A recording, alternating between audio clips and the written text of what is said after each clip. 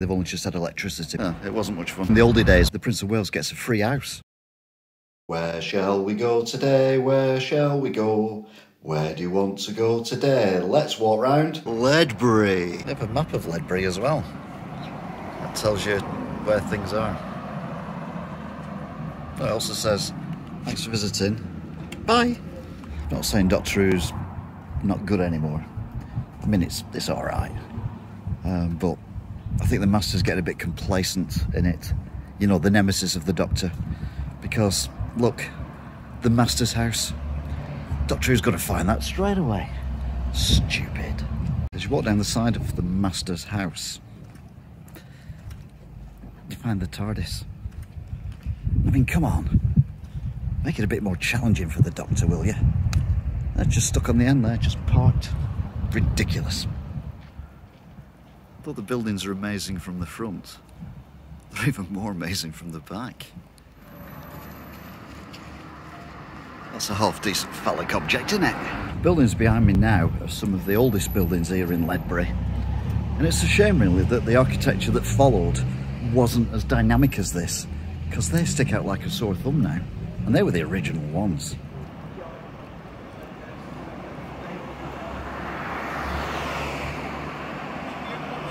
You wouldn't know it, but this is actually um, a sporting arena.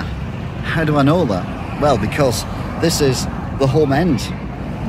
People I've spoke to in Ledbury are very nice, including in that shop there, where I made one stop. If you like expensive jewellery, you can come here to uh, Gay Man and Son. Or, if you want Tanzanite, you'll have to go over the road to the Tanzanite shop, which is that one. See? I do like shops that don't necessarily make it easy as to what they sell with the name, but I do like a clue if at all possible.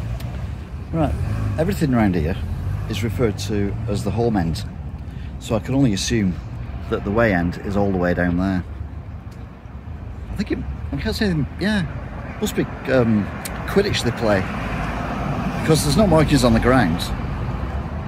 It'd be a bit dangerous trying to play something with all these buildings, wouldn't it? And cars, so flying around, yeah, perfectly safe. Weird names for shops. Ice Bites. That's Brain Freeze. We are not in Wales, but you wouldn't know it. Look at the size of that. Tiny! For Welshies. There's two things very wrong here. One is the build quality. Look at the way that isn't straight. It's very bad. And then they've called it Tudor Mews. Whereas obviously that's Jacobean. God's sake. Fall out with people, you're supposed to just give them the olive branch, but round here, they give them the old bloody tree. I can imagine a computer game company suing these people. DT Wells Butcher, DT Waller Butcher, and Sons. Very old butchers. Traditional as well, because it's green, and green is the traditional colour of butchers. And if you were paying attention earlier, you'll have noticed, or you'll have know why, Ledbury is called Ledbury. Well, here's the gun makers, who no longer do guns, they now make clothes. They like mixing things up here in Ledbury. Once they got used to steps around here, they took them to heart, didn't they? Near enough, every house has got these massive steps outside it. It's bonkers. Well, maybe that was, they couldn't afford the big place at the bottom with the massive stairs, so they just thought two steps. That'll stop the criminals from getting in. Hopefully it did. This is the home of LBC.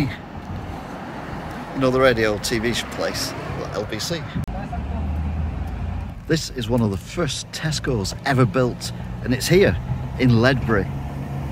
It's about, I think, 600 years old? Something like that anyway. It's a noise sensitive store. That's because it's old. Your hearing gets a bit patchy, doesn't it, when it gets old? So I'm walking down a hill. It's not the steepest hill in the world, but it's still quite steep. And uh, I'm looking for the viaduct, which apparently is around here somewhere. But I don't know where it is. I don't want to go in the right way or not, but I'm going downhill. And viaduct's usually at the bottom of hills. So we could be okay. Going past a park. Mm. And there you go.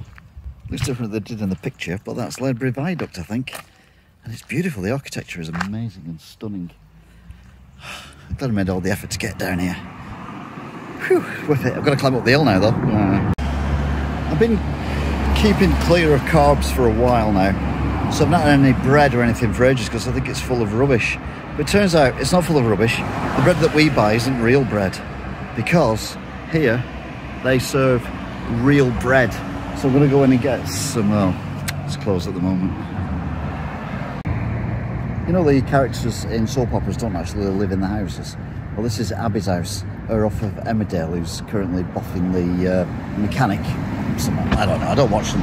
Anyway, she needs to get some paint, all that money she's earning. Get the house sorted, Abby. The other thing I like about Ledbury is the fact that if you get here early enough, you've actually got parking on the side of the road. So you can actually park your car up on the side of the road, but only on one side of the road. Because the other side of the road it's got a really high curb. So you can't do it on this side. It's a very clever way of stopping people parking, I'll be honest. If you need petrol, you're sorted. They've got an Esso station. But beware, this is Ledbury. Things are different.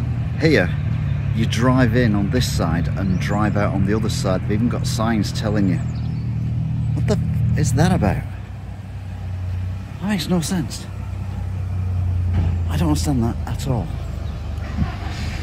Why, why, why, why? Ledbury is a very confusing place. So this is where you normally drive in, but here, that's the exit.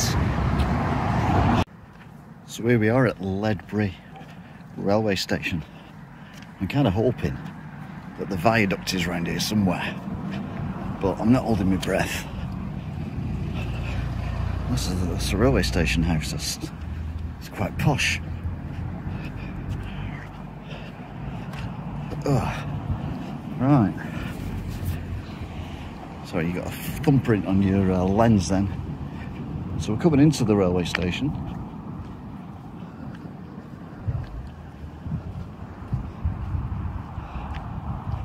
Can we see the viaduct?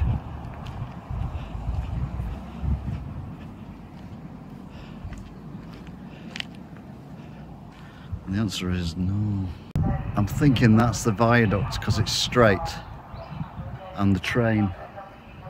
So I had to do wibbly wobbly to get around it. Another walk, I guess. Look at this, we've got a fruit packing firm here that pack fruit. Fruity. So down there is the uh, packing factory for the fruit. And if we go over this stile, in style obviously, it's not easy one-handed. Oh, you find the orchard that they pick the fruit from. It don't get much fresher than that, does it?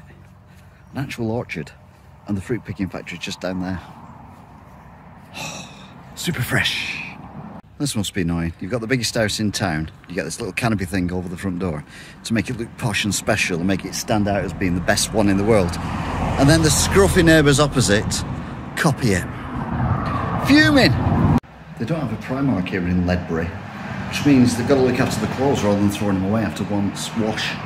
And they've got this, which is a washing place. It's like a washerwoman thing where washers wash things and then dry things. So your clothes last a bit longer. But when a Primark opens, that place will be gone.